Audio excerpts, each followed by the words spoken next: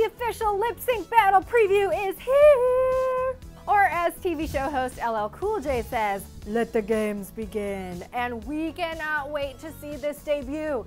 So as a reminder, this is based on the idea that Jimmy Fallon and The Tonight Show have made famous, where two celebrities go head to head lip syncing songs of their choice.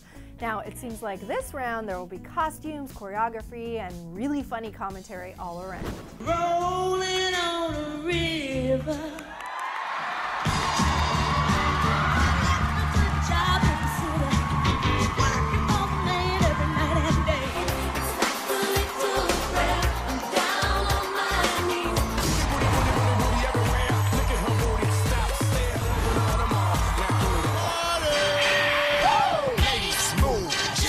Stay in this game.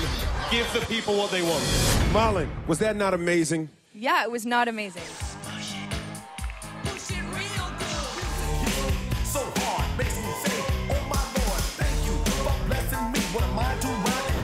Brilliant! Now, I actually don't think that Mike Tyson was singing at all, but those hip movements really made up for it.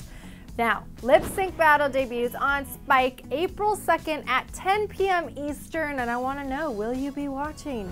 Post a comment below and tweet me at Dana Ward Online with which celebrity did the best lip sync in the show preview. I think that I'm gonna go with John Krasinski. I mean, he could be Tina Turner's doppelganger. Did you see those legs? All right, guys, thanks for checking out Clevver. Be sure to click over here to see the top OMG worthy jokes from the Justin Bieber roast. Also coming up, that's on Comedy Central.